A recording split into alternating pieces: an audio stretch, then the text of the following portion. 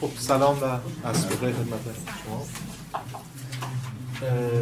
ما جلسه پیش بحث خودمون رو در مورد متافیزیک ارسطو آغاز کردیم و سعی کردیم یک شرایط رو فراهم کنیم برای اینکه بتونیم بحث اصلی متافیزیک ارسطو اون ترمینولوژی اصلی شد در واقع ترسیم. و این جلسه هم بناست که هم بحث رو سوق بدیم به سمت الهیات هست. یعنی شکلی از خداشناسی. جلسه گذاشته بعد از این سری مقدمات که در مورد اقسام علل و تقسیم بندی فلسفه و اینا داشتیم رسیدیم به اون سگانه ای که برای ارسطو خیلی مهمه یعنی ماده و صورت و فقدان. ماده و صورتی تکلیف باید زیر روشن باش. این ماده که رو در موردش هم صحبت می‌کنیم. صورتیه که ما می‌تونیم بشناسیم. علم به صورت تعلق می‌گیره و بعد دیگه رفتیم وارد بحث فقدان شدیم از انتهای جلسه پیش. گفتیم فقدان برای ما خیلی مهمه. فقدان در که با مفهوم خوب پیوند می‌خوره یه چیزی بین جهان هستی و نیستی. یعنی هم نیست ولی هست. گفتیم من پدر نیستم مادرم نیستم. ولی می‌تونم پدر بشم ولی نمی‌تونم مادر بشم. این که من پس پدر که نیستم این نیست نیستی پدر یه بچه ایجابی داره برای انگار من واجده انگار من واجده نیستیم. یه چیزی دارم که نیستم. این بحث خیلی خیلی مفیده و مهمه برای حل یک مسئله باستانی و اون هم مسئله حرکت. یا حتی بهتر تغییر. تغییر برای ارسطو چیه الان با این حرفی که ما زدیم با این حرکت اینه. ماده به علاوه صورت به علاوه فقدان که ما به کل این میگیم شی به علاوه یک عامل بیرونی.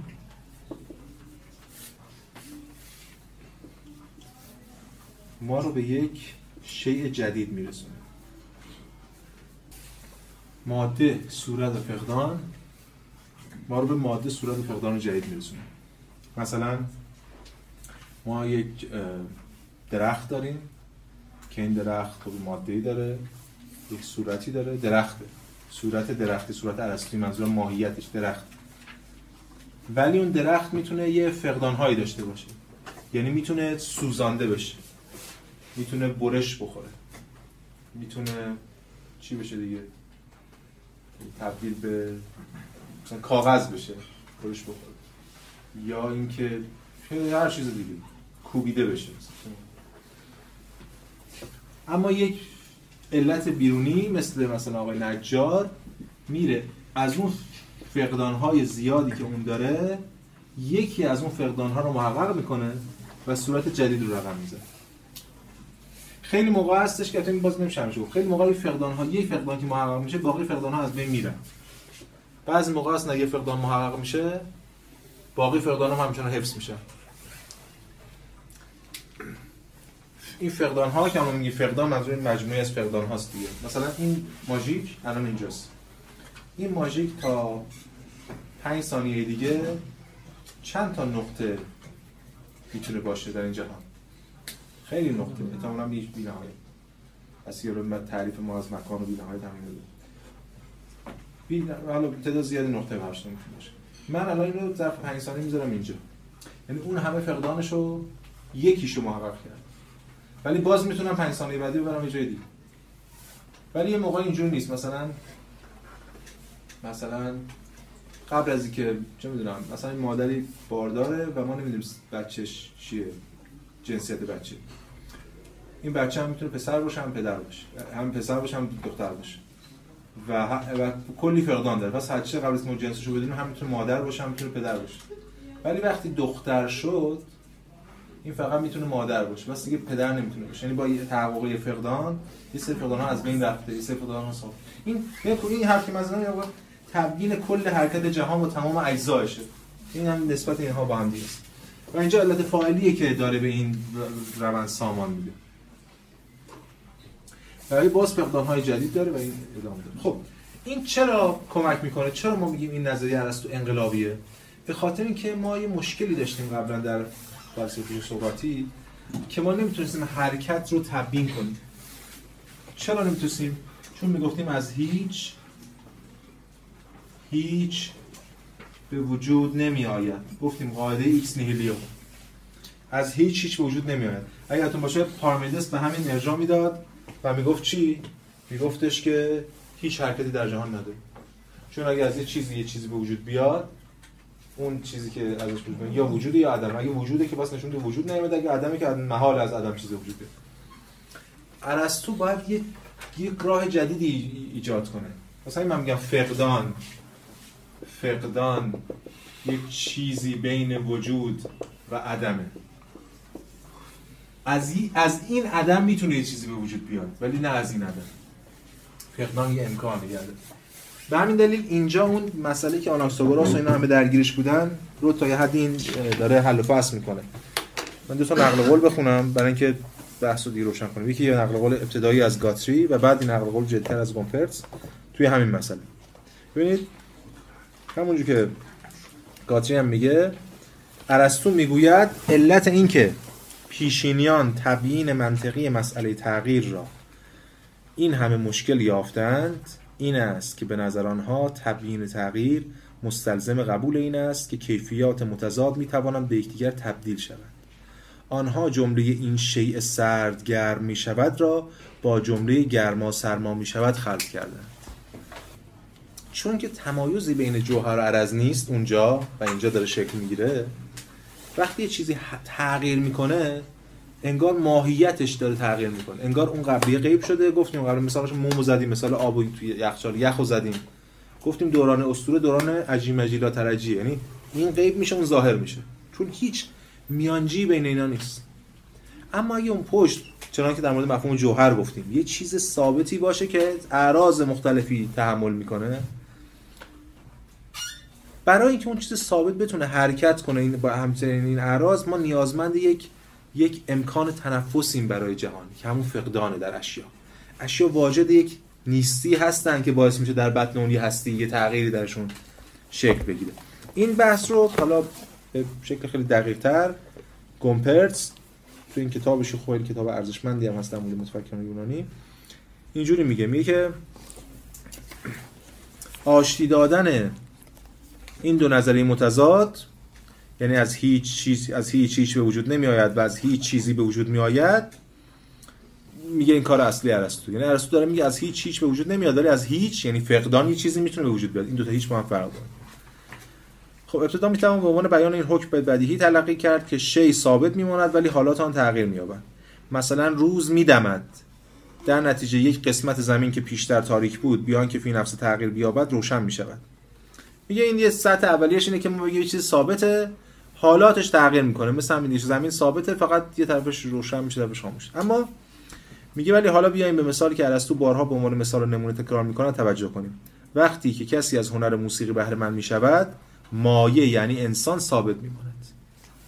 ببینید انسانی که مثلا موسیقی نمی‌دونه و انسانی که موسیقی می‌دونه اینا از حیث دانش موسیقیشون متفاوتن. ولی حیث انسان بودنشون که متفاوت نیستن. این انسانه که نمی‌دونه میره می‌فهمه. یاد می‌گیره. یا نهارت یا دانش هر به عبارت دیگر از نه انسان به انسان تغییر نمییابد. ولی از آن جهت که از شخصی که موسیقیدان نیست شخص موسیقیدان درست می شود پس به معنی خاصی از هیچ چیز چیزی به وجود آمده. و در این حال از چیزی که بر حسب استعداد همون قوه موجود بود چیزی بالفعل پیدا آمده پس ما می‌بینیم که اینجا این فقدانه مهمه خیلی برای ما. برای اینکه می‌تونه تبیین کنه حرکت رو و برای ارسطو اولین بار این کار رو انجام بده. در کنار این بحثا یه اشاره هم بکنیم به خود ماده. همیشه ما میگیم که ماده نزد ارسطو قدیمه. یعنی چی؟ یعنی ماده هیچ وقت به وجود نمیاد. ماده همیشه بوده. ماده اصلا باید همیشه باشه. توی ادامه همون سنت یونانی که قبل از ارسطو بوده. اما این نکته هست من هفته پیش یه اشاره کردم الان هم یه کمی باز, باز کنم البته خود ارسطو خیلی روشن حرف نمی‌زنه ولی ما نقل قول تیلور رو می‌خونیم و این هم در صحبت ببینید وقتی از صحبت می‌کنه انگار هر جسمی دارای ماده خودشه. مثلا این کتاب یه ماده داره این کتاب یه ماده خودش داره ماده شرط تفرد و از این حرفا. اما از یه طرف انگار در آثار ارسطو این ماده ها با هم پیوند دارن از درون. ببینید تیلر میگه که ماده آن جوهرها نیز عبارت از خاک و باد و آتش و آب هستند که در ترکیبشان به کار رفته است. بدین ترتیب در هر مرحله فرایند تولید و رشد همیشه صورتی تازه بر روی ماده اضافه می شود یا از اندرون آن پدید می آید در حالی که خود این ماده پیش از این نسبت به فرایندی که به واسطه آن پدید آمده ترکیبی از ماده و صورت بوده. خود این خاک و باد و آب و آتش خود چوب خود هر گچ هر چیزی ما ماده تشکیل است خود اینم باز یه ماده صورته. پس خود اینم یه ماده ای داره.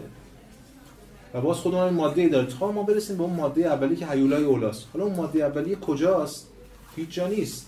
ولی در واقع همه جا هست. خیلی اونجا اشاره می‌کنیم. یه چنین دیدگاهی البته اینو ارسطو صراحتا نمیگه ولی ما منطق ارسطو رو بس میدیم.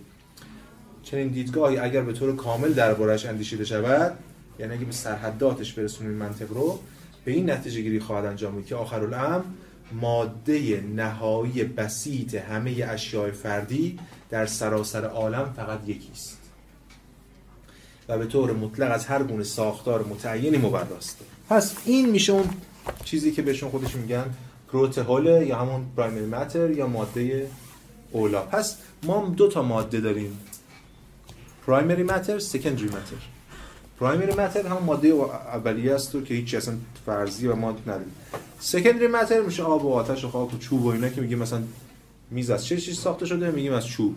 این سکندری ماتره ماده ثانوی است نه ماده اولی خب قبل از که باز این بحث ماده این بحث فقدان یک اشاره هم بکنم خیلی کوتاه به اون چیزی که در ارسطو میگه مقولات.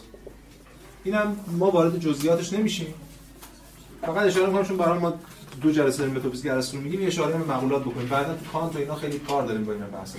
با اصلا ایده مقوله ارسطو در ارسطو ما میگیم مقولات اش چیه ماجرا؟ در واقع به معنی هر چیزی یکی از این ده تاست. یکی از این ده تا مقوله است. یا در مورد هر چیزی بخوایم صحبت کنیم باید از منظر یکی از این ده تا مقوله صحبت کنیم. ده تا مقوله چیه؟ یکیش جوهره. نه تاش عرض. یعنی اعراض مختلفه از جنس عرض. چی هم؟ کم و کیف و عینب و متاب و فعل و انفعال و وضع و ملک و اضافه.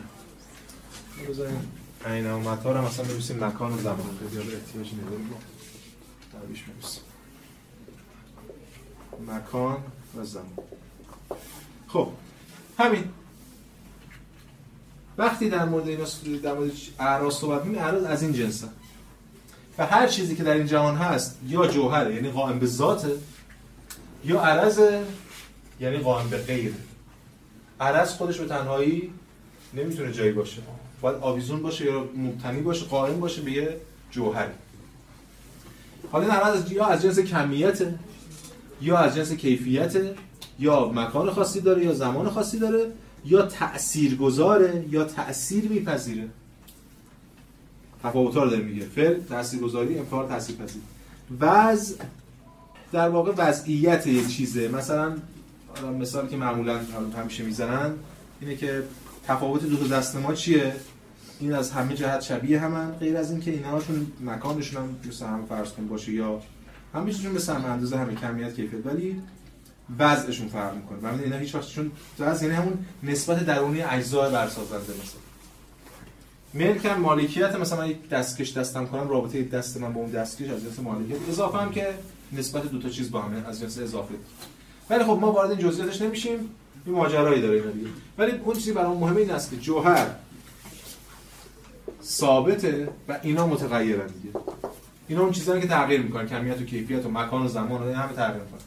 ولی جوهر اون چیزی که اون پشت ثابته خب اینم یه مقدمه دیگه که به درد بحث ما می‌خورد برای اینکه بریم وارد اون الهه بشیم. قبل از اینکه وارد الهه ارسطویی بشیم لازمه که این بحث قوه رو یا فقدان رو بستش بدیم و اون اصطلاح معروفی که خود شما شنیدین یکم در مورد صحبت کنیم. یعنی قوه و فعل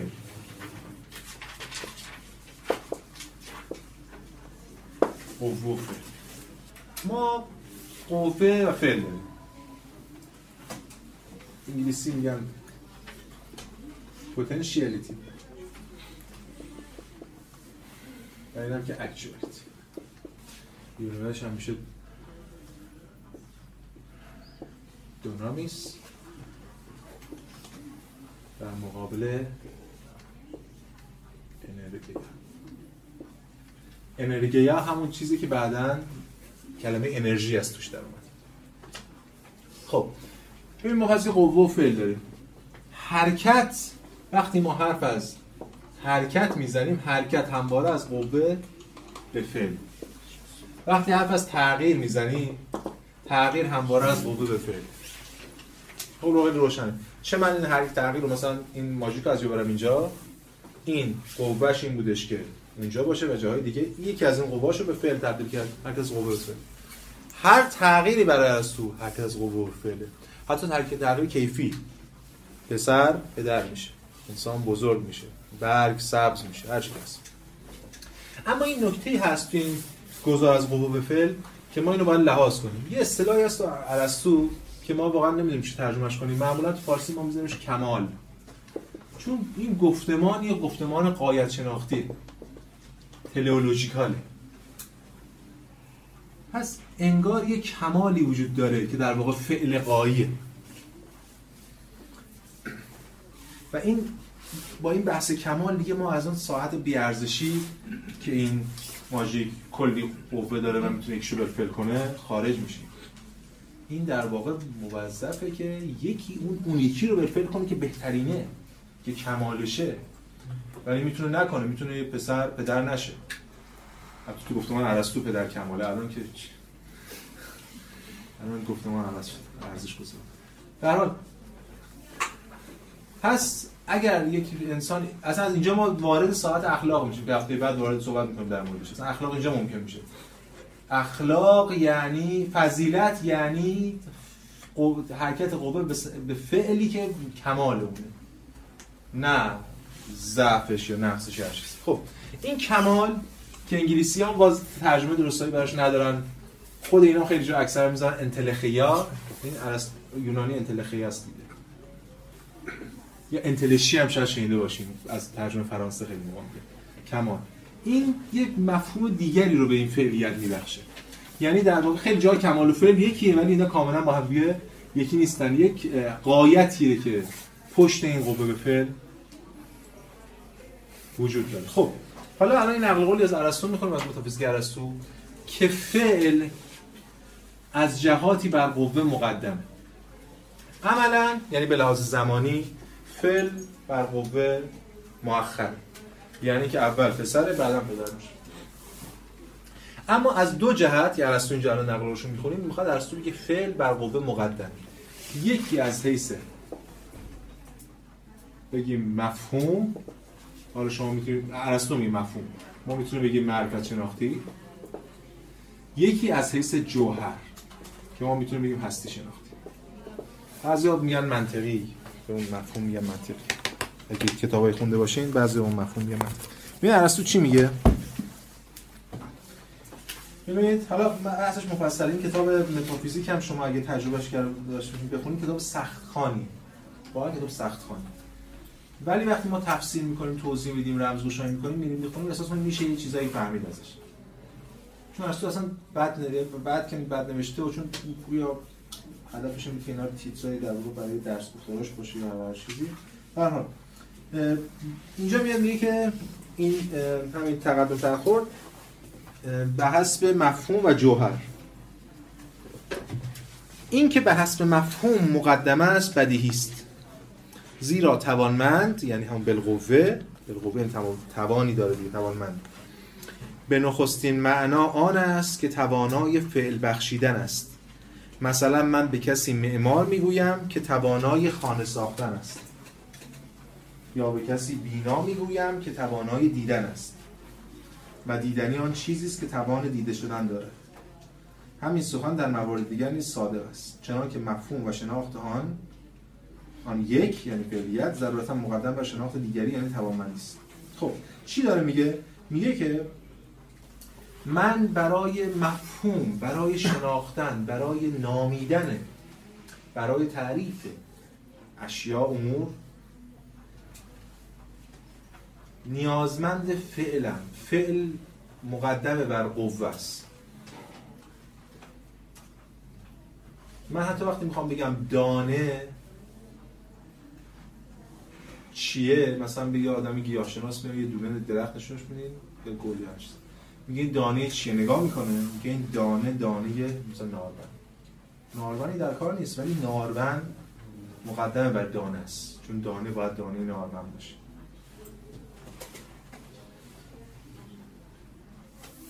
این از حیث مفهوم. از حیث جوهر چی؟ حالا بعد چیز شد با صحبت حیث جوهر هم میگه که صفحه 298 اما به حسب جوهر نیست چنین است. نخست بدان علت چیزهایی که در پیدایش یا هست شدن مؤخرند از لحاظ صورت جوهر مقدمند.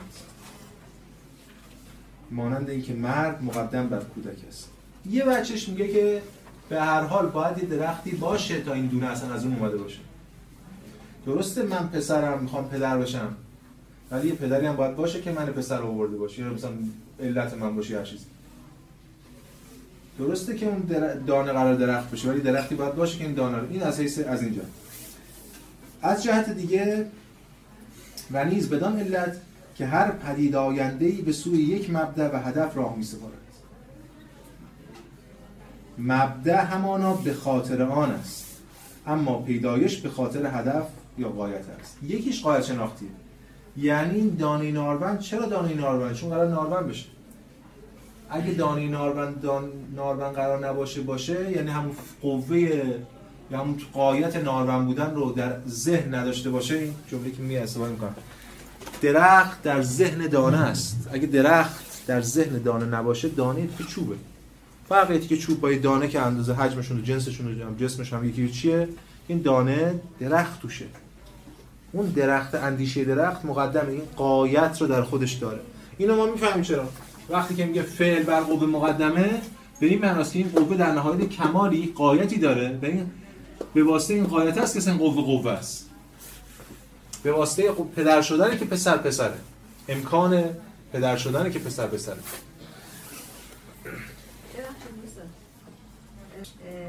من می‌خوام ببینم آقای پروفسور ارسطوی ما فعل رو به عنوان انجام دادن کار نگرفته؟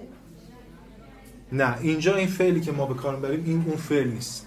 این فعلی که ما اینجا به کار بریم یعنی در ساعت فعلیت. فعلیت. فعلیت یعنی ساعت تحقق یافتن. بعد بله دیگه actuality. این فعل فرق داره با ببین این actuality است نه action. action خب عمله از جنس عمل. این فعل منظور نیست. اینم که ما به کار بریم قوه فعل این از گفتمان ترجمه فلسفه اسلامیه. من خودم راضی قائل نیستم اینو فعل به کار بریم چون اون نام داره تو خودش. ولی خب برای اینجا منظور ساعت فعلیت یافتن بعد خب. پس اینم از این هدف همانا فعلیت است و به این خاطر توانمندی به دست میاد اینا رو من خوندم به خاطر اینکه واقعا اینا متن خیلی دشواری یعنی می‌خوام بگم که این تجربه خیلی خوبی که ما می‌تونیم سر درست متن اصلی خود ارسطو بخونیم حداقل فهمی ازش داشته باشیم. حالا با همه زوری که می‌زنیم خیلی اینا رو باید جدی بگیم چون متن خود ارسطو نه چارت شاره ولی اون چیزی که مهمه اینه که رابطه قوه و فعل ارسطو ماهیت قاعده شناسانه داره و یه رابطه پیشرونده است. اینا رو گفتم که الان وارد بحث اصلی این جلسه ما بشیم. چیه بحث ما؟ از آنجایی که حرکت قایت شناختیه و همچنین در ارسطو ما علل مختلف داریم و از طرف دیگه ما در یونان یه چیز داریم به اسم سرمدیت حرکت. یعنی حرکت هست همواره جهان در حال شدن همیشه. پس ما نیازمند یه چیزی هستیم که می‌تونیم بهش بگیم سرمدیت فاعل. یعنی باید بگیم اگه جهان حرکت داره محرکش کیه؟ و چجوری این محرک رو می‌تونیم؟ یعنی اگر جهان حرکت داره و حرکت در جهان سرمدیه یعنی مال امروز و فردا نیست. ازلی ابدیه پس این حرکت نیازمند یه محرکه یا همون علت فاعلیه سرمدیه. اینجا ما ساعت الهیات ارسطویی میشیم یعنی چیزی که ارسطو به مرور بهش خواهد گفت خدا. توس که همون تئولوژی و توس دیوس و همین از دل همین میاد. هرچند اینم باز میشه در مورد صحبت کلیشه اینم برمیگرده به حالا مورد بحث ما نیست ولی ایشون برمیگرده به ریشه های هند اروپایی و حتی کلمه دیو ما هم برمیگرده به همین و اینا. میشه در حرف اینم که چرا دیو ما منفیه؟ به خاطر اینکه خیلی موقع ها وقتی خدایان جابجا می‌شدن چه خیر و شر بارها جابجا می‌شدن. مثلا یه قوم برای قوم غلبه می‌کرد خدای اون قوم شر میشه خدای اون قوم خیر میشه و این جابجایی پیش میاد ما الان کارمون نداره فعلا یونانیم از تو صحبت خب. این نکته بسیار مهم قبل از که وارد مفهوم خدا نزد ارسطو بشیم لازمه بگم. فارغ از این بحث. در مورد خود مفهوم خدا.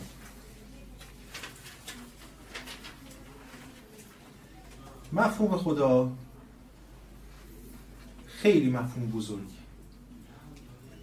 خیلی بزرگتر از اون چه ما فکر می‌کنیم.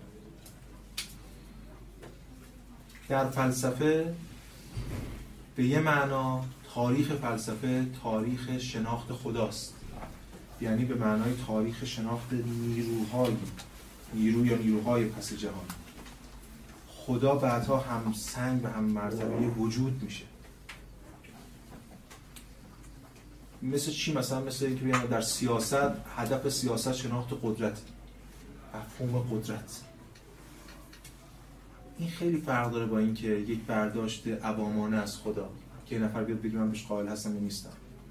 یه نفر بیاد مثلا ببینید ما جلسه پیش ترم پیش در صحبت مفاهیم در ساحت فلسفی نه فقط در فلسفه در تاریخ بشر از بین نمیرن بلکه از شکلی به شکلی دیگه تبدیل میشن. اما مفهوم چیزی نیست جز یک کانونی از نیروها تراکمی از نیروها.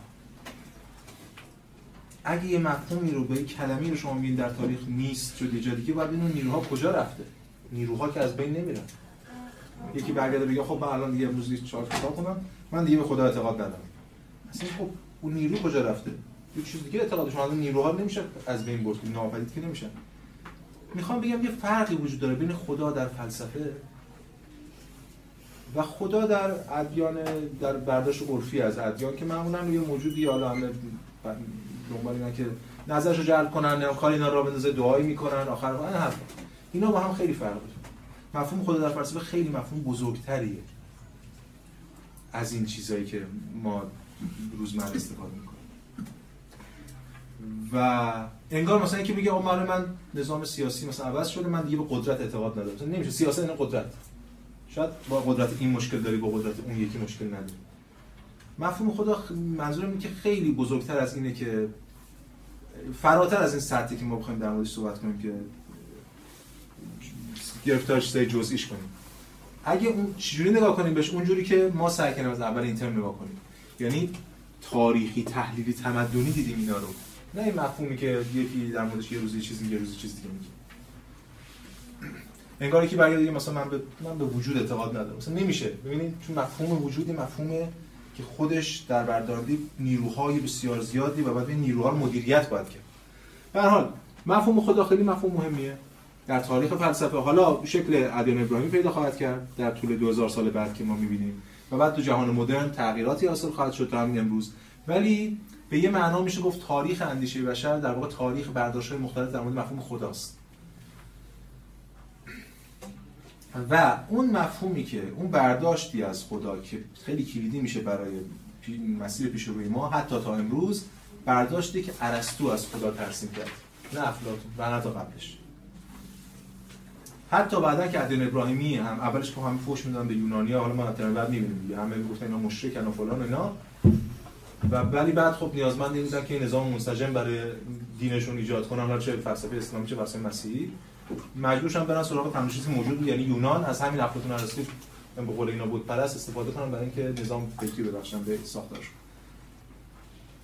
و اونجا هم حتی باز ما میریم اون برداشت ارسطویی به چه معنا غالبه؟ حالا در مورد صحبت خواهیم کرد. حتی افلاطونیان جهان اسلام هم ارسطویی هم. ما اینا رو به وقتش در مورد صحبت می‌کنیم. به معنا نو افلاطونی این برداشت که امروز می‌خوایم از خدا ترسیم کنیم اینجا حالا به بهانه ارسطو برداشتی که نخستین گام ما برای ورود به دوره جدید. دوره قبلی کسرت خدایان بود. اینجا ما وارد یک برداشت جدیدی از خدای توحیدی خواهیم شد. البته خب تغییرم خواهد کرد. دعوای زیادی هم در ادامه خواهیم داشت. خب این مقدمه رو گفتم برای اینکه وارد بحث بشیم. پس ما اینجا دنبال محرکیم. یعنی مدخل ورود ما به بحث خدا محرکه نه خالق روشن در حالی که الان مثلا شما بخواید در خدا صحبت کنید با یه کودک یا با هر کسی اول از خالق شروع می‌کنید این جهان علت. ولی تو ارسطو ما خلق نداریم چون که در یونانیان نداریم. هنوز چون گفتیم ماده قدیمه پس ماده کسی خلق نکرده. پس اینجا ما با سراغ محرکیم. برای یونانیان حرکت مهمه. برای یونانیان جهان جهان حرکت فوسیس اصلا خود طبیعت در حال حرکته. به همین دلیل دنبال منشأ این حرکته. این که این حرکت نیازمند یک محرک اولیه است که حالا بعدا خواهیم دید که خودش نامتحرکه. این یه بحثی که ارسطو مطرح می‌کنه و امروز ما می‌خوام یکم در مورد استدلالاش هم صحبت بکنیم. اولین بار این است بحث و ما تقدم تاخر تاریخش رو کار نداریم. فعلا تقدم تاخر که جلسه پیش در مورد آثار ارسطو گفتیم بودیم این سوال. قبل از اینکه وارد متافیزیک بشیم ارسطو این بحث رو در خود فیزیک مطرح می‌کنه. اینم منطقیه. کجا مطرح می‌کنه؟ در انتهای فیزیک کتاب هشتم. گفتیم متافیزیک به این معناست که بعد از فیزیک. این فیزیک خونده میشه و بعد که آخر فیزیک ما داریم از فیزیک خارج میشیم. ارسطو در مورد مبدع حرکت بیرون از طبیعت صحبت می‌خواد بکنه و در با با استدلالای فیزیکی خاص خودش. اینجا حالا صفحه 349 350 ترجمه مرحوم لطفی که من الان دارم. در فصل پنجم کتاب هشتم یه فصلی می‌ذاره به اسم محرک اول نامتحرک است. در مورد این صحبت می‌کنه که می‌خواد اثبات کنه که چرا محرک اول خودش نامتحرک این اثبات برای ما آشناست. وقتی که ما اینو تو نظام علت معلولی از علت اولیه صحبت می‌کنیم. میگیم علت اول بوده که خودش معلول نیست مثلا. امروز یه استدلال نقل قولی از ارسطو فیزیک می‌خونم. بعد میریم نقل قول از ارسطو تو متافیزیک می‌خونیم و بعد سعی می‌کنیم یه کمی به کمک ابن سینا و اینا شکل شسترفته ای از برهان اثبات محرک اولیه اینجا ارائه بدیم. و بعد حالا به وقتش ردش هم می‌کنیم. خب. ارسطو میگه علت حرکت شی محرک اول است. زیرا محرک اول محرک آخر را به حرکت در می آورد. در حالی که محرک آخر محرک اول را به حرکت در نمی آورد. پس این محرک اولی می‌خواد خب این که یه حرف روشن. این علت حرکت نه اون علت حرکت این. و محرک اول می تواند بدون محرک آخر نیز شی را به حرکت در آورد. در حالی که محرک آخر نمی تواند بدون محرک اول علت حرکت شود. مثلا عصا اگر انسان حرکتش ندهد نمی‌تواند شی را حرکت دهد. یعنی من می‌تونم مثلا با عصای شی رو حرکت بدم. من می‌تونم خود این شی هم حرکت بدم. ولی اون مثلا عصا ولی بدون من نمی‌تونه حرکت بده. این دیگه روشن می‌خواد این عصا با اینکه علت اونم نیاز به علت دیگه ای داره. پس اینجا در مورد سلسله علت. خب بعد جلوتر میگه که ممکن نیست که سلسله محرکین به طور نامتناهی ادامه یابد. این اینجاست که اثبات وجود محرک اولی. که ممکن نیست این سلسله محرکین چون این نیازمند محرک اونم نیاز محرکه این سلسله نمیشه تا بی‌نهایت ادامه پیدا کنه. به طوری که هر محرکی را محرک دیگری حرکت دهد زیرا در سلسله نامتناهی حلقه نخستینی وجود ندارد. باری اگر هر متحرکی را محرکی حرکت دهد و محرک اول را محرک دیگر حرکت و محرک اول را محرک دیگر حرکت نمی‌دهد پس محرک اول باید خود خود را حرکت بدهد. این بیان physical ماجرا. حالا همین بحث رو بعد من بازترش می‌کنم. همین بحث رو میریم توی متافیزیک. همون اول متافیزیک اول متافیزیک میگه. دقیقا اگه تقدم تاخر آندرونیکوس رودسی رو رعایت کنیم آخر فیزیک باید اول متافیزیک باشه غالبا بعضی اون حرفای در مورد نقد پیشینیان و افلاطون اینا که ما بهش نقل قولش خوندیم دیروز هفته پیش. دیروز درسی به چون سقراط توی در واقع این محاورات بعض محاور قبلی اشاره می‌کنه میگه دیروز. یا دکارت به تعامل قبلی اشاره می‌کنه تعامل میگه دیروز. بعد از این بحث رو مطرح می‌کنه تو کتاب آلفای بزرگ در کتاب آلفای کوچک میاد اشاره می‌کنه به اینکه دقیقا همون اول کتاب میاد اشاره می‌کنه به اینکه فصل دوم سلسله علت ها نمی‌توانن بی پایان باشد. اینجا ارسطو داره اثبات می‌کنه وجود خدا رو. وجود محرک اول رو.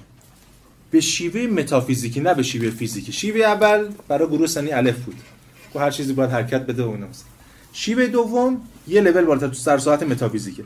اول میاد میگه میگه این اول هر چیز باید علتی داشته باشه. در مورد انواع علل صحبت می‌کنه.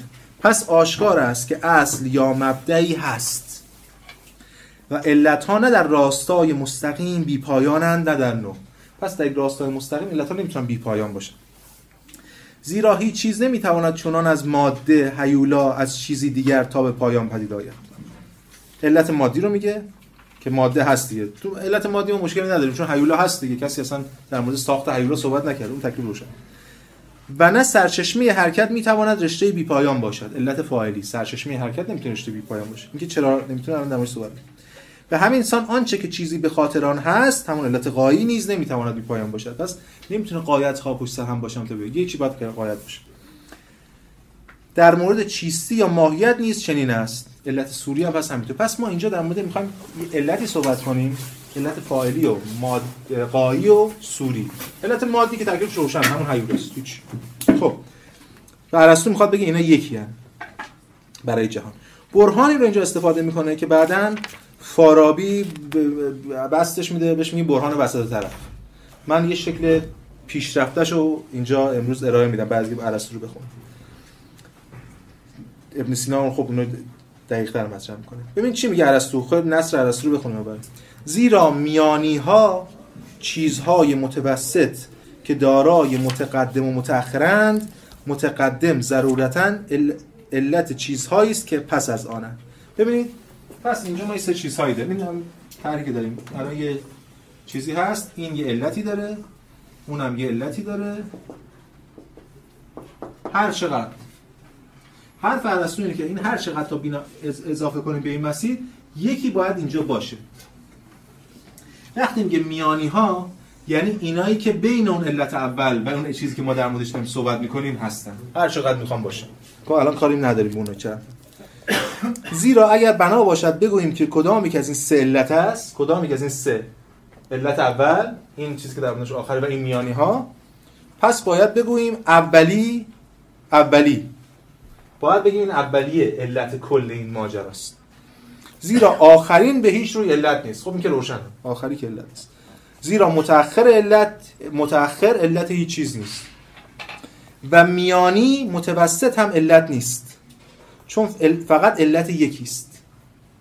این میانی ها هیچ کدومشون علت نیستن چون این فقط علت یکیست نه علت کل. و فرقی نمی کند که یک میانی یا چندین باشد هرچی. یا پایاندار بی پایان باشد. حتی میگه فرقی نمی کنه اینا تعدادشون بی نهایت باشه. ما کار بینو نداریم. شاید مثلا بی نهایت باشه اینجا. ولی این باید یکی باشه پشت همین. اما در رشته هایی که به این نحو بی پایانند و در بی پایان عموما همه اجزا تا برسد به لحظه کنونی به طور یکسانی میان گیرن. همه اینا این رشته ها معمولا همه به طور یکسان یعنی یکی علتشه خود این علت یکی دیگه است چنان که اگر یک اولین نباشد علتی هم اصلا در میان نیست. ببینید استدلال اینه دیگه میگه اینا همه میان که اگه این نباشه یعنی یه علتی که اولین باشه. اون وقت اینا هیچ نمی‌تونن باشن چون اینا هم معطوف هم و منوط هم به وجود این. اگه خود این علت باشه خب این خودش باز میفته تو میانی که دیگه اون بیرون است. اون میشه اصلی. اما این اتفاق نمی‌تونه تا بی نهایت ادامه پیدا کنه. نمی‌تونه بی پایان باشه. چرا؟ ما میگیم دچار تسلسل میشه مشکلش چیه؟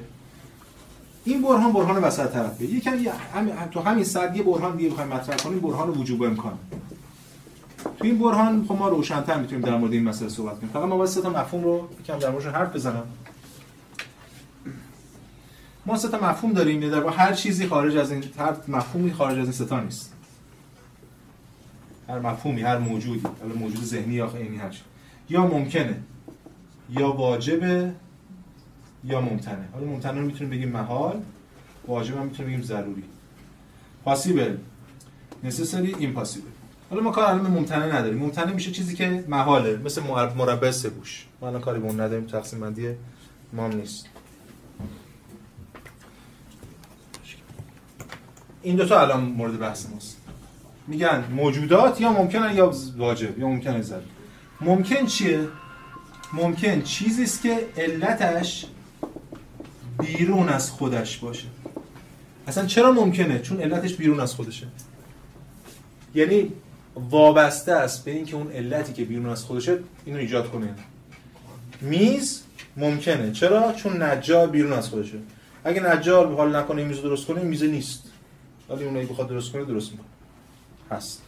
واجب چیزی است که علتش بیرون از خودش نباشد. ضروریه. مثلا ما در ساعت منطقی می‌تونیم صحبت کنیم. مثلا مثلا سه گوش بودن مثلث سه گوش بودن مثلث بیرون از خودش در ذاتش. به همین همیشه ساده.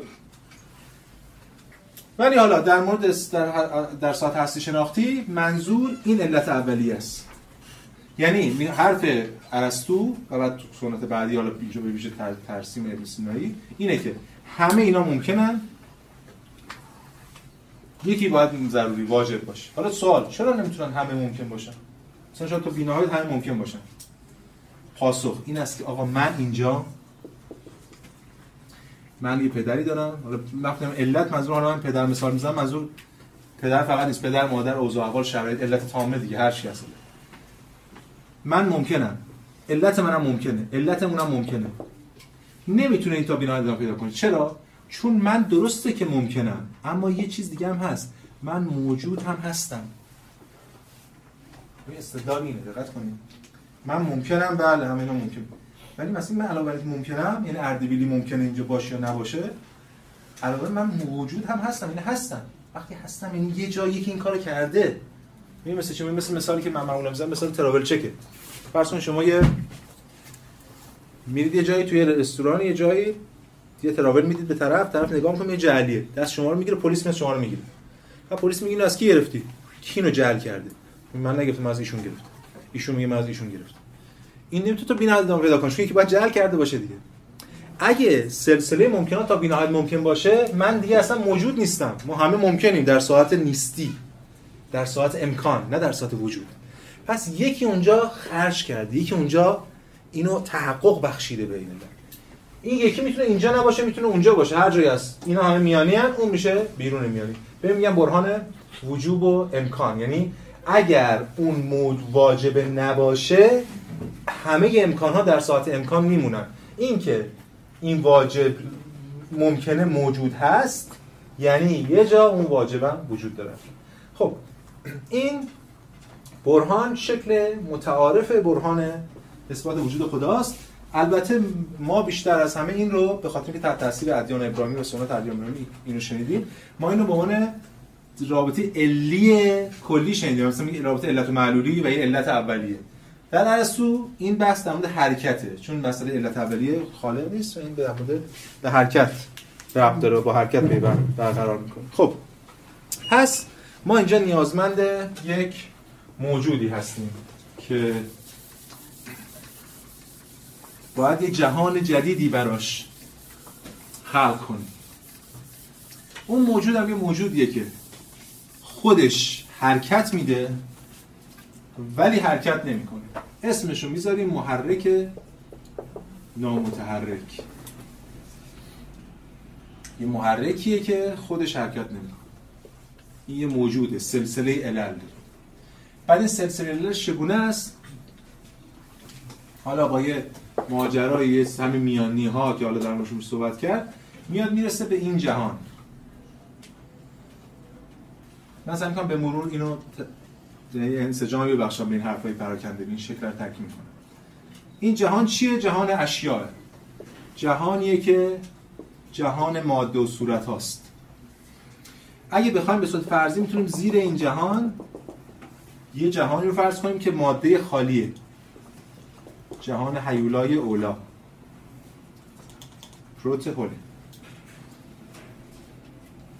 این جهان بالقوه محض. یعنی این ساحت ایولا.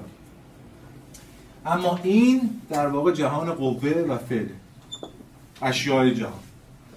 و اون ور محرک نامتحرکه. ببین نامتحرک. من اونجا پاک کردم نه. آره پاک کردم. متحرک. یعنی حرکت نمی‌کنه. یعنی حرکت نمی‌کنه یعنی چی؟ یعنی قایت نداره. ببینید چیزی که قایت داره به سمت قایت حرکت می‌کنه دیگه. گفتیم انتلخیا پیوند می‌خوره با خود اون حرکت قوه به فعل. چیزی که حرکت نمی‌کنه یعنی قایت نداره. چرا قایت نداره؟ چون بالفعل مطلق. هیچ قوه ای نداره قوه داشت که حرکت می‌کرد. زیرش یعنی غیر از اون همه ماسوا همه دارای قوه. قوه هاشون فرق می‌کنه و این جهانی هم که ما توش هستیم بر اساس همین نسبت با این و این طبقه بندی میشه. یک ساحت پایین جمادات نباتات حیوانات و انسان ها هر کدوم از اینا قواشون رو به سمت فعل بردن دیگه مثلا.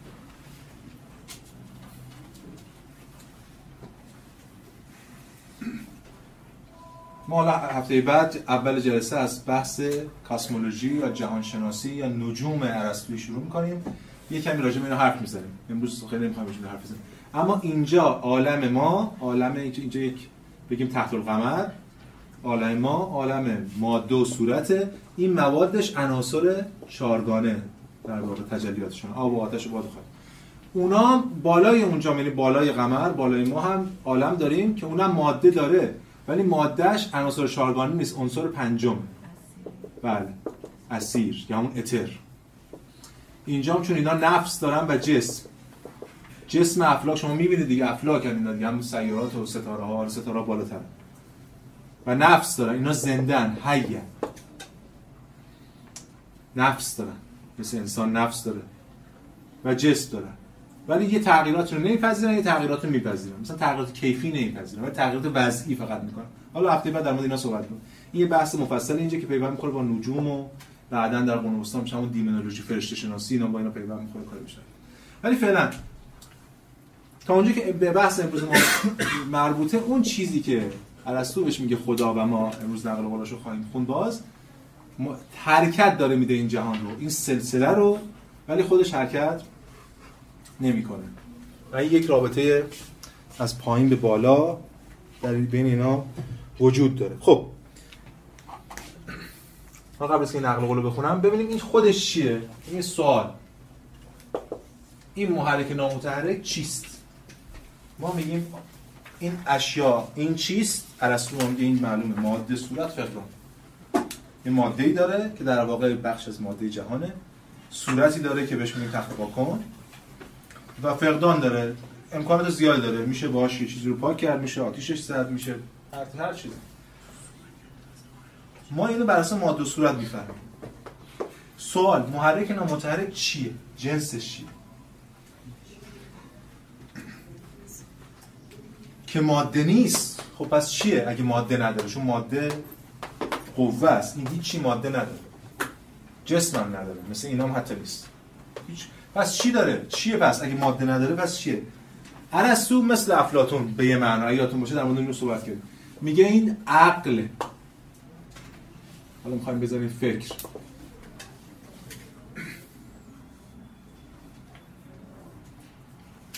عقل. یادتون از توی افلاتون تو نظریه همین همین صفات مسل می‌گفتم که صفات رشنال بود عقلی. گفتم عقلی مال اون موقع با الان فرق داره. ما الان فکر کنیم عقلی یعنی انتزاعی معقول. در اونا این عقل یعنی ذاتش از عقل وجودش از عقل جنسش از عقل. خب این عقل. عقل چیکار می‌کنه؟ عقل تعقل می‌کنه. کار عقل کار عقل فکر کردن. یعنی این در واقع عملش فکر. همون تعقل. فکر می‌کنه. عقل دی کارش فکر کرده. حالا به چی فکر می‌کنه؟ اینجا دیگه تفاوت خدای ارسطو و خدای ادم ابراهیمیه که بعدا ما واردش میشیم. آیا به این جهان فکر می‌کنه؟ نه. هیچ چیزی پایین تر از خودش ارزش رو نداره که این بهش فکر کنه. چون اینا آلوده هم به ماده. این اصلا ارزش نداره براش به ماده فکر کنه. پس به چی فکر می‌کنه؟ به خودش فکر می‌کنه. میشه عقل عقل فکر فکر. نوئسیس نوئسوس فکر فکر عقل عقل. به خودش فکر می‌کنه. اندیشه ای که به خودش میاندیشه. خب بریم سراغ ارسطو. کتاب متافیزیک. ببینیم حالا می‌تونیم اینا رو بفهمیم که چی میگه. الان ما تمرکزمون روی کتاب لامدای متافیزیکه. که در واقع الهیات ارسطویی و بحثاش در مورد خدا و اینا اونجاست بیشتر. خب. چی میگه اینجا؟ ببینیم می‌تونیم بفهمیم بخونیم ببینیم چی میگه. اما اندیشه ای که به خودی خود به ذات هست اندیشه که به خودی خود معطوف به آن چیزی است که به خودی خود بهترین است. و اندیشه در عالی ترین حد آن معطوف به آن چیزی است که در حد اعلا بهترین است. ببین اینجا داره ارزش گذاری می‌کنه دیگه روشنه. پس این معطوف به چی؟ به اون چیزی که اصلا بهتره. یعنی خودش دیگه. عقل خودش الان عقله. عقلی چون ما اینجا دیگه عقل نداریم. عقلی عقل از راه اتحاد با معقول به خودش میاندیشه. یعنی اینجا اتحاد داریم به این دوتا اتحاد عقل و معقول. اتحاد عقل و عاقل و معقول به این معنا که ارسطو و خودش نیز در تماس و تعقلان معقول می شود چنان که عقل و معقول یکی و همانند. زیرا پذیرای معقول و جوهر عقل است. خب دیگه هم روشنه دیگه با توجه اگه ما عقل و عاقل و معقول اینجا یکی بدونیم. اما هنگامی فعالیت می کند که دارای معقول است.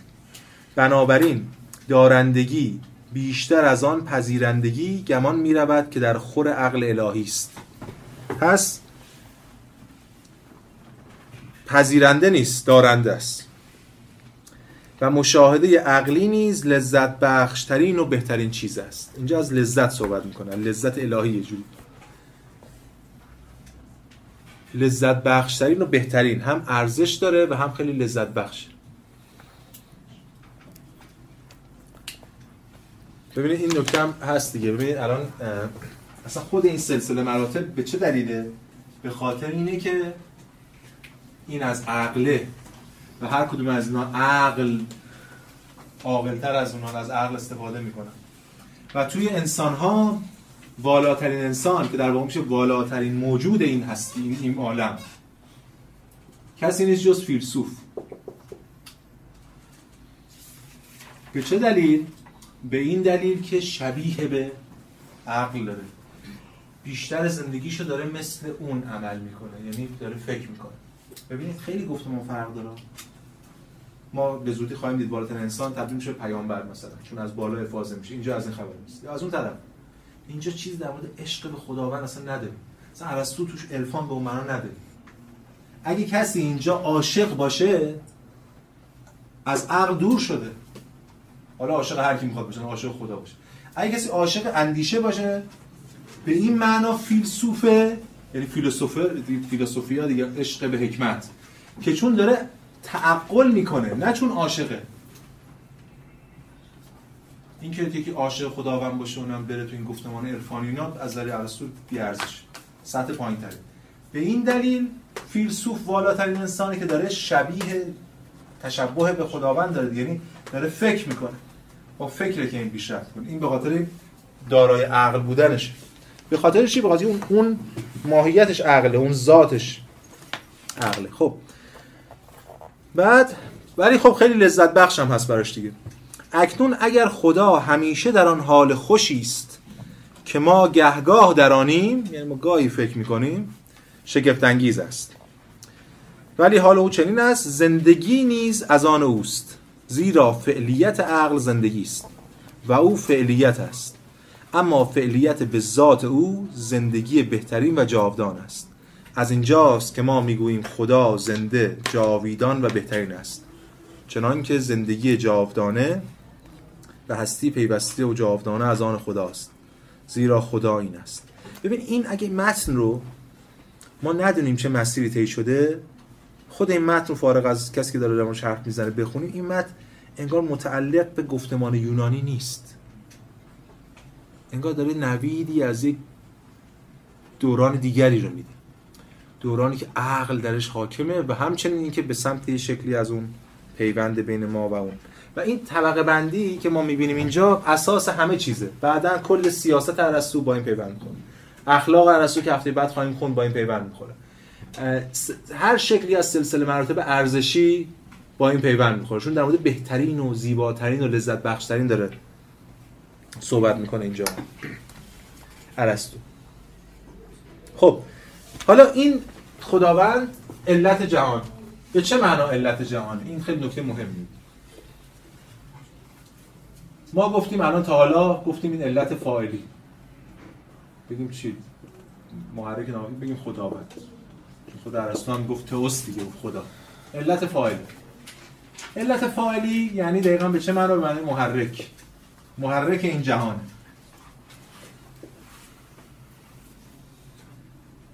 اما این نکته مهم اینه که این محرک فرق داره با محرک از جنس دخالت کننده در جهان. مثل نجار یا حتی مثل دمیورگوس افلاتون چه فرقی داره؟ ما مراتب بعدی صحبت کنیم بعد به این برمیم همه اینا رو قرار یه مفهومی باز کنیم. اما علت قایی این جهان هست. خداوند علت قایی این جهانه علت فاعلی بودنش هم به خاطر اینکه علت قایی این جهان. حتی بعدا در مورد علت سوری بودنش هم اگه بخوایم صحبت کنیم باز به دلیل که علت قایی این جهان. به چه معنا؟ دقت کنید یعنی خداوند قایت جهان. در جهان یک چیزی یک شوق درونی وجود داره که حرکت می‌کنه به سمت از قوه به فعل. و تمام موجودات از این شوق دارن حرکت می‌کنن این تناقض امکان داره به وجود بیاد. آقا این اگه ما نگفتیم محرک نامطلق محرک کل جهانه پس از اون طرف اصلا کاری به جهان نداره. چه محرکی فقط داره به خودش میاندیشه. با خودش اصلا چه ربطی ما داره؟ با مسئله علت قای ارسطو رو حل می‌کنه. یعنی در خود جهان یک شوقی که به سمت اون هم حرکت می‌کنه. اون یه الگویه. این الگو هم به واسطه این فقر ذاتیه که قنا اینجاست. این شوق رو پشن میشه گذاشت بعضی هم می‌ذارم میل دیزایر فکر کنم فکر کنم حرمه است حرمه تو یونانی و افستای این دوتا که اصطلاح در کنه حرمه و افستای ولی مترجم بعضیشون یه مدل دقیقتر می‌ذارن. اپتیشن یعنی اشتها مثلا. گرایش یه جور میل درونی وجود داره. مثل چی میمونه؟ مثالی که معمولا من می‌زنم. مثال مثلا فرض کنید که من می‌خوام تناسب اندام داشته باشم. از اندام خودم ناراضی ام می‌خوام تناسب اندام داشته باشم. چیکار می‌کنم؟ میرم یه فردی که خب به نظر من تناسب اندام داره عکسشو برم دارم می‌ذارم رو دیوار اتاقم. هر روز صبح بلند میشم به اون نگاه می‌کنم لبخند می‌زنم بعد به خودم نگاه می‌کنم. ناراحت میشم بعد شروع می‌کنم ورزش کردن. بعد 6 ماه من بیشتر به اون شبیه شدم. حالا اون آقا نمی‌دونم توی کشور دیگه اصلا یه بدن چون سوئیسی هرچی. بریم اون بگی آقا شما آقای اردبیلی رو می‌شناسید میگه اردبیلی کی اصلا اون منو نمی‌شناسه. ولی من دارم از شوق اون حرکت می‌کنم. این اصلا کاری به این نداره به این جهان. ولی چون فی نفسه هست و ذاتش فکره و عقله و ما در این جهان تعقل رو داریم یک شوق درونی وجود داره که از درون حرکت میده. ببین این یه انقلابی به خاطر که ارسطو دیگه احتیاجی نداره اون از بالا بیاد دخالت کنه مثل دمیورگوس افلاطون. و حتی نسبت به آیندگانش که فلاسفه مبتنی بر ادیان ابراهیمی که دیگه خدا با جهان کار داره سر هر جزئی می‌خواد محاکمه کنه ماجرا داره نم دعا قراره مثلا استجاب استجابت کنه بالا اینا. اونا باز خیلی مشکل برمیخورن. ما خواهیم دیدی اونا خیلی سخت تبیین مفاهیم مثل معجزه و دخالت خدا در جهان. ولی ارسطو مشکلات نداره. ارسطو کاملا فیزیکال و این جهانی داره قضیه رو می‌بینه. حرکت برای ارسطو درونزاست. از بیرون حرکت انجام نمیشه. درسته که محرکه ولی محرک از این جنسه. درسته که علت فاعلیه. درسته علت سوریه یعنی صورت بخشه. اما این صورت بخشی به خاطر که من یک ماده ایم که قوایی دارم و این قوا از درون دارن حرکت می‌کنم به سمت به این معنا صورت بخشه. همونجوری که اون عکسه اون آدمی که تو سوئیس نشسته داره به من صورت میبخشه. ولی اصلا این اصلا روحش هم خبر نداره که من چیکار دارم. پس این ماجرا این حرکت یک رویکرد جدیدی رو مثلا علیت ایجاد می‌کنه و البته اگه بگیم خداوند علت فاعلی و غایی و سوری جهان به این معنا قطعا علت مادی نیست چون هیولا قدیمه. در واقع بیان دیگه بخوام تبیین کنیم اون قدیمه و هیولا قدیمه. همین. بعد هیولا که فقر مطلقه کل این جهان از بطن خودش ایجاد کرده با نظر به اون. یعنی با نظر اون نه که اونو داره نگاه می‌کنه. به فقر خودش پی می‌بره مثلا. به حال بله من می‌دونم این اسطوره قصه داره باز همون داستان هاست ولی همون داستان ها نیست.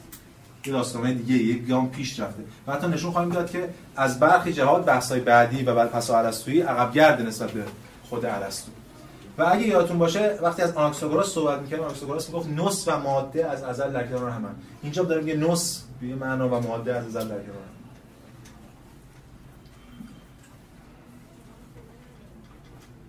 و این نکته دیگه هم اگه میشه میشه اینجا بشه اشاره کرد بعد وارد بحث بعدی میشیم این است که اگه یادتون باشه ما گفتیم که افلاتون که عالم این بالا می‌سازه. در واقع افلاتون بودش که خب بله این عالم باید عالم وحدت باشه یعنی اجزاش واحد باشن و عالم غیر مادی صورت بخش ایده است. ارسطو دیدیم که این صورت رو میاره پایین. اما همه رو نمیاره پایین. اون قوا رو میگم این خیلی نکته مهمیه. ما وقتی اون مفاهیم صحبت می‌کنیم ما باید تاریخ مفاهیم رو ببینیم. مفاهیمش شکل می‌گیره. مفاهیم در فلسفه مثل نهادها در سیاست هم. نهاده. تو نمی‌تونی برداری یه آدم عوض کنی و بگی نهاد عوض شد. تجمع قوا سر جاش نیروها سر جاش. اسمشو عوض کن به ظاهر. این هم همینطوریه. نهاده. ما با نهاد طرف. نیرویی که افلاتون به آن جهان بخشید یک قدرتی بود که ارسطو بخشی از بچه معرفت شناختی اینو اوورد تو این جهانی کرد. اما همشو نه. مابقیش رو به معنا متمرکز می‌کنه. ایده خیر افلاتون رو می‌کنه خدا. و واقعا هم خیره چون قایته. میگه بهترین ارزش اخلاقی بهش بخشید. و اتفاقا به یه معنا این که میگن ارسطو افلاطون رو زمینی کرد به این معنا درست نیست چون افلاطون به حتی آسمانی تر هم می‌کنه. چون اصلا افلاطون مخیلش نمیگنجید همچین موجودی. یه دمیورگوسی داشت اونجا اونو می‌دید اینو میساخت. اصلا این کاملا خیلی چیزتر بدویتر بود. این که اینقدر مطلق میشه و ما الان می‌فهمیم یعنی اینو پس ببینیم ما در آستانه ادیان ابراهیمی هستیم. اینو بعدا ما صحبت کنیم در مسیحیت. اینجوری نبود که مثلا پیامبر بیاد و بعد همه هم بپذیرن که چی میگه و فلان. تو اون دوره که مسیح میاد و ادعای پسر خدا بودن یا همون مسیح مسایای یهودیان می‌کنه. کلی آدم دیگه اومدن همشون به صلیب کشیده رفتن. حتی به روایت نزدیک هزار نفر. اون دوره کوتاه 60 70 سال. بعضیشون کشته شدن به صلیب کشیده شدن فرار کردن هر چیز چرا این این چرا این گفتمان باید غالب بشه؟ به خاطر که تشنه است. جامعه تشنه است. تمدن منتظره که یکی بیاد بگه آقا اینو من می‌شناسم. این اسمش اینه و فلان این بس این نکته خیلی مهمه که ما در طول این ترم سعی کردیم انجام بدیم که یک مسیر رو داره طی می‌کنه. مسیری که از کسرت خدایان داریم به توحید می‌رسیم و هیچ احتیاجی نیست که ما داستان سرایی کنیم. چون بعضی هم امروز هم هستن داستان سرایی می‌کنن. مثلا میرن این چیزا رو می‌خونن توی ارسطو و میگن ببین ارسطو هم اینجا موحد بود نمیگن اینا. اصلا چه احتیاجی به این تمدن داره خودش به این سمت پیش میره دیگه. یعنی تمدن داره به سمت توحید پیش میره. و ارسطو پیشگوی این دوران آینده است. و چنانکه که بعدها خواهیم دید که خود این دوران فرو میپاشه شوری توحید به سمت وحدت پیش میره و مراحل بعدی رو خواهیم داشت. اینجا این آمادگی در واقع نظری و تئوری که برای رسیدن به اون ایده ای که بعدها ما می‌شناسیم و در واقع پیش میره در ادامه. اما یه نکته در مورد این شوق بگم نقل قولی از راست بخونیم. میگه که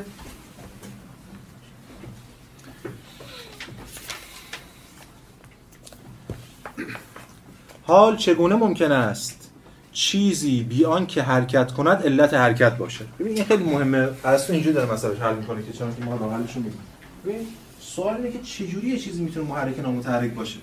چجوری یه چیزی می‌تونه بیان که حرکت کند علت حرکت باشه؟ علیت طبیعی حرکت مستلزم تماس متقابل محرک و متحرک و بنابراین عکس عمل متحرک و محرک است. من وقتی اینو حرکت میدم این داره رو منم اثر می‌ذاره دیگه.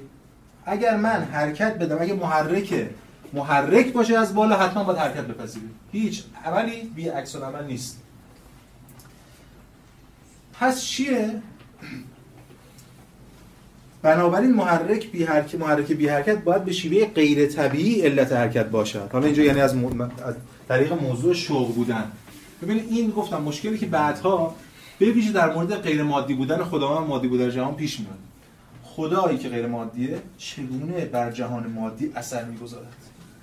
ارسطو پاسخ دقیق به میده. میگه از خود جهان.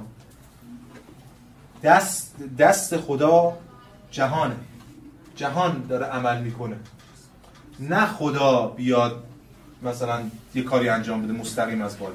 این که خدای غیر مادی چگونه بعدها مثلا در مفاهیم مثل معجزه یا چیزای دیگه دخالت مادی در جهان می‌کنه به لحاظ فلسفی خیلی پیچیده است و خیلی سخت اثباتش. می‌بینیم ما متفکرای بعدی میان چیکار می‌کنن در موردش؟ حالا در اون بعدی که در مورد حرف هم خواهیم ولی فعلا تا اینجا می‌بینیم که ارسطو چقدر نسبت به افلاطون پیشروه و در حین حالی که موسول آورده پایین و کرده ایده ها ایدوس. اما در این حال یه حقیقت رو بالا حفظ کرده. نکته مهم این است که هم ارسطو هم افلاطون اینجا همچنان دو جهانیت حفظ کردن.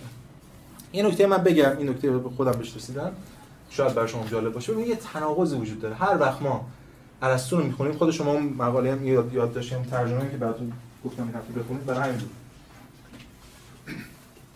یه جایی اونجا همون که ارسطو تو متافیزیکش میگه. اگه از شما بپرسن که آقا اون مقاله که من بهتون گفتم بخونید. موضوع اصلی متافیزیک چیه؟ شما دچار تناقضی میشید. تناقض چیه؟ دقت کنید. این قابل مناقشه از کسی نقد داره بگید چون حالا من تمیز بر رفتن با ارسطو بهش رسیدم این تناقض وجود داره. یک طرف ما میگیم که دغدغه این که موجود به ما و موجود چیست. یعنی وجود داشتن یک شی چیست. این خود وجود چیه در واقع؟ انگار دغدغه اگزیستانسیالیستیه. من ترتیبش با شما صحبت می‌کردم نقل قول می‌خوام انگار دارم هایدگر می‌خونم یه ارجام دادم.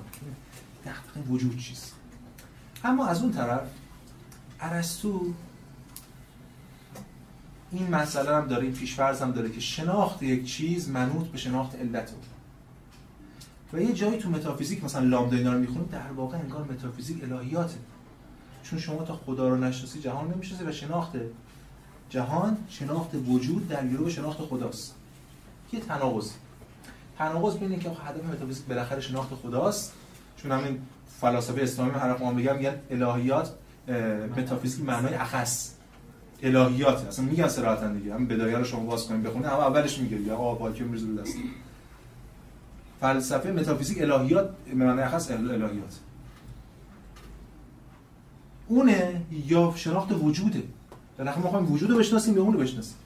این تناقض به این دلیل تو ارسطو از موضع من من مونیستم من وحدت وجودی هم به این دلیل که هنوز ارسطو نمی‌دونه که اون وجوده. ارسطو هنوز گرفتار دو جهانیت.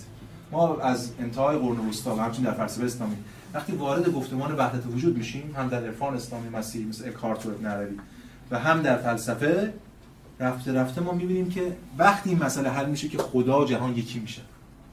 وحدت وجود که اون بحثه بعدیه که من فقط خواستم از موضوع خودم نکته هم بگم. احساس کنم شاید شما دچار این تناقض شده باشیم بین خب یکی دو تا نکته میمونه برای اینکه جمع کنیم. البته این طرح و هفته بعد ادامه خواهیم داد. یکم در مورد نجومش و چون افلاک و اینا صحبت می‌کنیم در مورد جایگاه جهان و کره زمین. که کره است زمین ارسطو زمین کره است. چه دلیلی میاد هفته بعد صحبت خواهیم کرد. چند دقیقه قبل از که وارد اخلاق بشیم.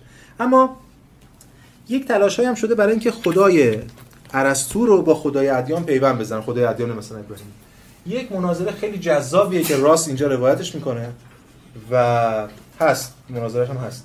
در انتهای در اواخر قرن 19 هم انجام میشه بین تسلر که هم کتابو نوشته و برنتانو که استاد حسرل و پدر پیداشناسی فلان مناظره در مورد این است خدای ارسطویی آیا مثلا الهادیه یا نیست مثلا خدای؟ و اونجا حالا با توجه بحثی که میشه مثل که تسلر پیروز میدانه یعنی گویا که میگه خدای ارسطو هیچ رفتی به خدای ادریان ابراهیمی نداره. یه یه گفتمان دیگه ما البته اینا رو سعی می‌کنیم در پیوسته رو با هم ببینیم. ولی این مهمه که اگر کسی واقعا بخواد اونجوری بخونه ناامید کننده است. ببینید خود راست میگه که تصوری که از خدا در لامدا همین لامدای متافیزیک ارائه شده است قطعا تصوری نارضایت بخش است. به عقیده ارسطو خدا دانشی دارد که دانش جهان نیست. تأثیری که در جهان دارد حاصل دانش او نیست. تأثیری که به سختی می‌توان آن را فعالیت نامید. آقا نه دانشش به در جهان می‌خواد تأثیرش هم حاصل دانشش نیست. فکر فکرش اصلا به این جهان نداره. کاری هم که نمیشه بهش گفت یعنی تأثیر داره که نمیشه بهش گفت فعالیت به معنایی که ما می‌شناسیم. تو ادیان ابراهیمی زیرا به گونه ای که کسی ممکن است ناگاهانه در دیگری داشته باشد یا به گونه ای که حتی پیکره یا عکس می‌تواند در ستایندش داشته باشد. همین مثالی هم که من زدم. خب. پس این این یه بحثه. یه بحث دیگه در مورد تعداده. ما الان داریم میگیم و من از این دفاع می‌کنم نقل قولی هم می‌خونیم که ما داریم از کسرت خدایان به سمت وحدت توحید میگیم اینم باز بگم کسرت خدا به سمت توحید رفتن به این معنی است که مثلا انسان به این نتیجه برسه که خب ما دیگه چند خدایان نباید داشته داشته باشیم بریم سمت یک خدایی منطق موضوع ایجاب می‌کنه. می مثل چی؟ مونه مثل دقیقا گذار از این کسرت خدایان یونان به تک خدایی مثل زمانی که در کشوری هرج و مرجه و هر کس واسه خودش یه حکومتی را میندازه. دولت مرکزی قدرتمند میشه و همه رو جمع می‌کنه. اینجوریه واقعا. یعنی نیروها جمع دارن میشن در یه قدرت واحده. به یک فرایند مفهومی تمدنی که ما داریم می‌بینیم. اما ارسطو به هر موحد نیست اصلا دیندار نیست. ما خبری از این چیزا نشینده بودم. از بحث توحید و اینا. به همین دلیل دغدغش این نیست. یه جاهایی ما میگیم ارسطو یه حرفای عجیب غریبی می‌زنه. مثلا من نقل قول بخوام بخونم از خود لامدا که حالا خیلی مفصله ولی می‌خوام در نهایت بگم که چقدر عجیبه. مثلا ارسطو در مورد تعداد مبادی برمیگرده میگه که ترجمه شرف 413 میگه که نه 405 میگه که شمار جوهرهای متحرک رو بحث می‌کنه و اینو میگه. میگه که از آنجا که تعداد سپهرهایی که خود سیارات در آنها حرکت می‌کنند برای مشتری و زحل 8 است برای اینکه 25 یه سری اعداد می‌کنن محاسباتی می‌کنن کاری بهش نداره. تعداد سپهرهای فلان جا اینجوری و اونم 6 تاست اونم 10 تاست و فلان. جمعا میشه 55 تا اما اگر به ماه خورشید خورشید آن حرکت هایی را که از آنها سخن گوییم نیفزاییم آنگاه شمار سپهرها 47 خواهد بود. دقت کنید. پس بگذاریم شمار سپهرها این اندازه باشد این آسمان ها سپهر هم اتفاقا کلمه فارسی که یونان یعنی کلمه یونان سفر که ما تو انگلیسی هم از سپهر فارسی گرفته شده. پس بگذاریم شمار سپهرها این اندازه باشد چنان که می توان احتمالاً جوهرها و مبادی نامتحرک را نیز به همین تعداد انگاشت. داره میگه محرک نامتحرک 55 تاست یا به یه روایتی 47 تاست. زیرا از ضرورت سخن گفتن را میگه چنان که می‌توان احتمالا این دونست تعداد. زیرا از ضرورت سخن گفتن را باید به اندیشمندان نیرومند تری واگذارم. که من نمیم ضرورتا چی. خب همین ارسطو چون دغدغه‌شو نداشته میام تحلیل کرده اینجوری. اما همین ارسطو علاوه بر اینکه منطق بحثش که تا حالا ما در صحبت کردیم به سمت تک خدایی میره و تک قدرتی میره در انتهای کتاب لامدان بعضی بحث دیگه می‌کنه یه جمله میگه. خیلی جالبه. میگه که یه بحثایی می‌کنه در مورد روح و نفس اشیا و محر بحث محرک و اینا. بعد میگه آخرین جمله. میگه اما موجودات نمی‌خواهند بر آنها به بدی فرمان رانده شود. بعد یه نقل قولی از هومر میاره از ایلیاد هومر. ننی از چند فرمان روایی فرمان روا یکی باد. یعنی نیک نیست چند تا شاه باشه. یک شاه. آخرین جمله دقیقا لامدا بحث رو با یه شکلی از فرمان روا یکی باد و بتر... اما اثبات نمی‌کنه تک خدایی رو. یعنی ارسطو کاری که مثلا بعدا ابن سینا اینا همه در توحید اثبات توحید می‌کنه این اثبات نمی‌کنه. اونا اثبات می‌کنن که نمی‌تونه دو تا محرک نامتحرک چند تا باشه. به دلایلی که اونا حالا دیدید دید یا خوندید. ولی اینجا به هر ارسطو از فرمان روا یکی باد بحث خودشو جمع می‌کنم و برای منطق بحثش ما رو سوق میده به سمت این ماجرا. خب این از بحث این هفته ما در مورد الهیات ارسطویی و مفهوم خدا. از هفته بعد دیگه یکم در به جهان شناسی ارسطو صحبت می‌کنیم بعد میریم وارد اخلاق ارسطو میشیم. با تمرکز بر کتاب اخلاق نیکوماخوسی.